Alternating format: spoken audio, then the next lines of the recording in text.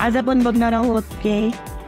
Video album designing करत असताना कुठल्याही प्रकारे फोटोंना मॅनिप्युलेशन न करता ओरिजिनल फोटोंनाच इन्हान्स करून एक प्रॉपर प्रोफेशनलरित्या कशा प्रकारे त्याचं लेआउटिंग केल्या जाते आणि सेम फोटोंना वेगवेगळ्या प्रकारे कसे लेआउट केल्या जाते ते आपण आजच्या व्हिडिओद्वारे आपण बघूया. चला तर मग